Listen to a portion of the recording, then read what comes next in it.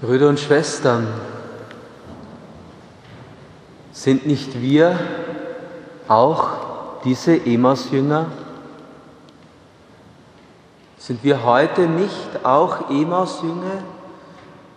Sind wir heute nicht auch noch geprägt von diesen österlichen Tagen, von diesen ganzen Feiern, von dem letzten Abendmahl, vom Leiden des Herrn und von seiner glorreichen Auferstehung? Beschäftigt uns das nicht auch noch im Herzen, so wie diese Emaus-Jünger? Versuchen wir nicht genauso wie sie auch zu verstehen, was da wirklich geschehen ist? Sind wir mit brennendem Herzen hier? Oder sind wir unüberlegt hier vielleicht, wie der Apostel schreibt, habt ihr unüberlegt diesen Glauben angenommen an das Evangelium, unüberlegt in die Kirche gekommen? Ich glaube es nicht. Weil schon allein das Hierherkommen ist ein Zeichen, dass euer Herz brennt.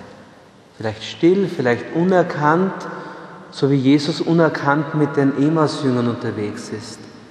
Dass dieses Hierherkommen, dieses unerkannte Jesus mit mir ist, dieses unerkannte Brennen des Herzens. Das, was uns berührt, wenn wir an das Osterereignis denken. Und was ist das Osterereignis? Was ist diese Quintessenz? Was ist dieser Grund, auf dem ihr steht, wie der Paulus sagt? Um das geht es heute, um diesen Grund, auf diese Quintessenz des Glaubens von Ostern. Jesus, der gestorben ist, er lebt, er ist der Lebendige. Er ist mitten unter uns. Das wollen wir uns heute nochmal ganz bewusst werden lassen. Davon spricht der Petrus beim Pfingst, bei seiner Pfingstpredigt. Er, der gestorben ist, der gekreuzigt wurde, er ist der Lebendige, er ist der Sohn Gottes. Und Paulus, der erste Bericht sozusagen, noch vor dem Evangelium, vor den Passionsberichten, der älteste Bericht über das Zeugnis der Auferstehung Jesu haben wir bei Paulus. Und der sagt, das ist der Grund, auf dem ihr steht. Das ist das Evangelium, die frohe Botschaft. Und da beginnt das. das. Auf das können wir nicht verzichten. Auf das Jesus Christus ist der auferstandene Herr. Das ist die Quintessenz, das ist der Grund, auf dem alles christliche Leben ist, ob ich katholisch bin, orthodox oder freikirchlich. Wenn ich das nicht habe, bin ich kein Christ. Das ist die Quintessenz. Und das dürfen wir immer wieder neu erleben, dass Jesus der ist, der unerkannt mit uns geht, der uns die Schrift, das Wort Gottes schenkt, damit wir immer wieder auf diese Quintessenz, auf diesen Grund, auf dem wir stehen sollen, kommen. Jesus ist der Lebendige. Jesus ist der, der bei uns ist, der mit uns geht, der uns geduldig erklärt, geduldig begleitet. Er begleitet uns unsere Wege.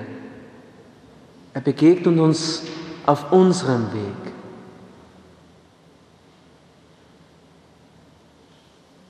Und was lehrt mich heute dieses Evangelium? Ganz stark ist für mich eben dieses Wesentliche, dass ich Jesus erkenne, dass Sie Jesus erkennen. Und, und wo erkennen Sie ihn? Dann wirklich im Brechen des Brotes, in dem, was wir jetzt dann gleich feiern werden, in dieser Eucharistie. Und Jesus ist so gegenwärtig, dass sie ihn dann nicht mehr sehen müssen.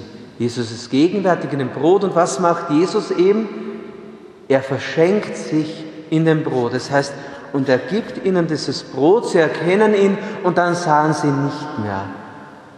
Und das ist für mich das, was heute das Evangelium sagen will, diese frohe Botschaft von Jesus Christus, dem auferstandenen, lebendigen Herrn, dass er lebendig sich uns verschenkt in diesem Brot und so immer bei uns ist.